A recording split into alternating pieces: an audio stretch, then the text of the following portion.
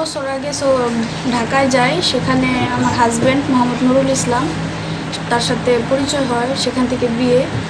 তার তিন চার মাস পরেই আমি, ওর ওর প্ররোচনায় পরেই আমি আসলে সৌদি আরবে যাই, রূপসী বাংলা ওভারসিরিজ এজ এজেন্সির মাধ্যমে। তো সেখান থেকে রিয়াদে পাঠায় আমাকে সর্বপ্রথম, যেখানে আমাকে বিভিন্নভাবে টর্চার করা হয়েছে, নির্যাতন করা হয়েছে।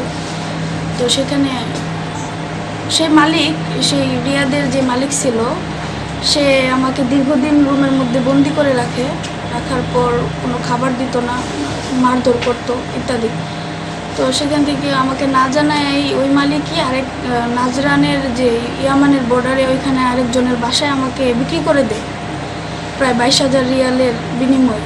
আমি সেটাও জানতাম না। সেখান থেকে আমি, আমার স্বামী সৌদি আরব আসছি আবার ভালো কাজের কথা বলে নিয়ে আসছি। তারা আমার সাথে খুব জঘন্য কাজ করছে। আমার সাথে তারা নির্যাতন করছে, টর্চার করছে। ভালো কাজের কথা বললে আমাকে তারা হানাদারের মতো ছিঁড়ে ছিঁড়ে খাইতেছে। আসসালামু আলাইকুম। দেশ এবং প্রবাস, যে যেখান থেকে আজকের এই প্রবাস টিভি দেখছেন, সকলকে স্বাগত জানাচ্ছি আমি আমিরুল ইসলাম রুবেল।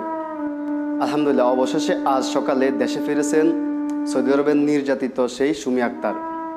গত দুই সপ্তাহ আগে তিনি লাইভে এসে বর্ণনা দেন সেই ভয়াবহ নির্যাতনের কথা। তারপর থেকে তার ভিডিওটি ব্যাপক আহারে ভাইরাল হয়। তার ওই লাইভ ভিডিওতে তার চোখের অশ্রুতে বেশে আসে তাকে কীভাবে নির্যাতন করেছেন সৌদিতে ওই হায়নার দলরা। বন্ধুরা, আমরা সকলে জানি মাত্র একটি সুমির কথা। না, শুধু একটি সুমি নয়, এভাবে হাজার হাজার সুমি আজ নির্যাতন, নির্যাতিত হচ্ছে সৌদি আরবে। এই নির্যাতনটি শুধু এখন থেকে ঘটতেছে না। যখন থেকে বাংলাদেশ থেকে সৌদি আরবে নারী- শ্রমিক পাঠানো হয়, ঠিক তখন থেকে এই ভয়াবহ নির্যাতনটি ঘটতেছে নারী শ্রমিকদের উপরে। তাই আমরা অনেকেই জানি না, কারণ সব সুমিরা তো আর লাইভে এসে তাদের নির্যাতনের কথা বর্ণনা করতে পারে না। সব সুমিরা তো আজ লাইভে আসতে পারে না। বন্ধুরা, আমার এখনও মাথায় আসে না এখনও আমি বুঝে আসি না যে এই নারী শ্রমিকদেরকে কি কাজের জন্য পাঠানো হচ্ছে, নাকি যৌনকর্মী হিসেবে বিক্রি করে দেওয়া হচ্ছে। তাই আমি, বাংলাদেশ সরকার এবং পররাষ্ট্রমন্ত্রী এবং হাইকমিশনার দৃষ্টি আকর্ষণ করে বলতেছি, আপনারা কি এখনও বুঝতে সক্ষম হননি যে তাদেরকে নিয়ে ওইখানে নির্মম নির্যাতন করা হয়? তাদেরকে যৌনকর্মী হিসেবে ব্যবহার করা হয় ওই সৌদি হায়নারা? কবে আপনাদের বিবেক জাগ্রত হবে? আর যদি আপনারা না সৌদি- সৌদিতে নারী শ্রমিক পাঠাবেনই, তাহলে দৌলদিয়াতে যে সকল যৌন নারী কর্মী আছে তাদেরকে আপনারা পাঠান। তাদেরও শখ মিটলো, আর বাংলাদেশের রেমিটেন্সও উপার্জন হলো। মাঝে মাঝে সোশ্যাল মিডিয়াতে দেখা যায়, সৌদিতে নারী শ্রমিকরা তাদের দুঃখের কথা বর্ণনা করেন। রাত হলে বাপের বিছানায় যেতে হয়, সকালে ছেলের বিছানায় এবং কি আত্মীয় স্বজন পাড়া প্রতিবেশীর হাত থেকেও রেহাই পান না তারা। তাদেরকে প্রতিদিনই এভাবে নির্যাতন করা হয়। তাই আমি সরকার দৃষ্টি আকর্ষণ করতেছি, আপনাদেরকে বলতেছি প্লিজ আপনারা আর বাংলাদেশ থেকে কোনো নারী শ্রমিক সৌদিতে পাঠাবেন না। যদি আপনারা নারী শ্রমিক পাঠাতে চান, তাহলে আপনারা দৌলদিয়া থেকে ওই সব যৌন নারী কর্মী সৌদি আরবে পাঠাবেন কারণ সৌদি আরবরা হায়নার মতো সিরে সিরে নারী শ্রমিকদেরকে নির্যাতন করে। তাদেরকে ব্যবহার করে যৌনকর্মী হিসাবে। দৌলদিয়া হচ্ছে বিশ্বের মধ্যে বৃহত্তর বড় যৌনকর্মীর মধ্যে একটি দৌলদিয়া যেখানে হাজার হাজার নারী যৌনকর্মী রয়েছে। আপনি তাদেরকে পাঠান।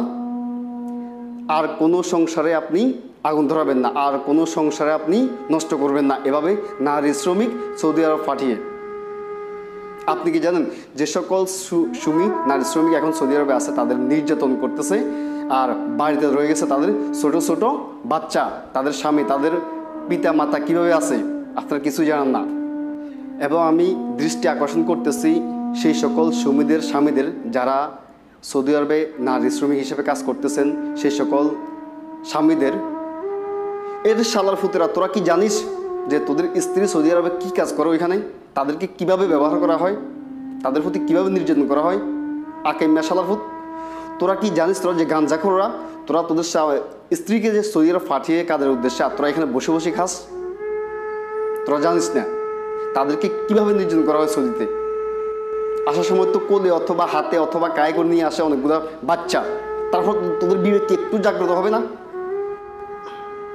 দুঃখিত বন্ধুরা। আমি আমাকে কন্ট্রোলের বাইরে নিয়ে গেছিলাম। আমি কন্ট্রোল করতে পারিনি। তাই হয়তো একটু বাজে ব্যবহার করে ফেলছি। আর সত্যি বন্ধুরা, খুবই কষ্ট পেয়েছি আমি, খুবই কষ্ট পাইছি যে এটা আজকে বছর বছর ধরে চলতেছে। এভাবে নারী শ্রমিকদেরকে নির্যাতন করতেছে সৌদি আরব, ওই অ্যারাবিয়ান হায়নারা। তারপরও কেন বাংলাদেশের সরকার সৌদিতে বাংলাদেশি নারী শ্রমিক পাঠা দিচ্ছে? আমার মাথায় আস। তো বন্ধুরা, ভালো থাকবেন। আর ভিডিওটি ভালো লাগলে অবশ্যই শেয়ার করবেন এবং সাবস্ক্রাইব করে পাশে বেলাইকনটি বাজিয়ে দিন। আর পরবর্তী ভিডিওটির জন্য অপেক্ষা করুন।